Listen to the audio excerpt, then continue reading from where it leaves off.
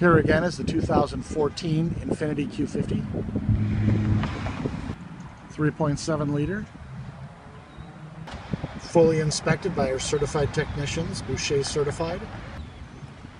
Really comfortable interior. Very classy looking. Tons of room in the back seat. Very large trunk for your cargo. Car has a clean Carfax and one owner. Of course, the interior looks really sharp. The dash, the displays, joystick control. Just a very plush interior. Of course, push button start. And of course, the sunroof. You get a lot of luxury here for not a high price.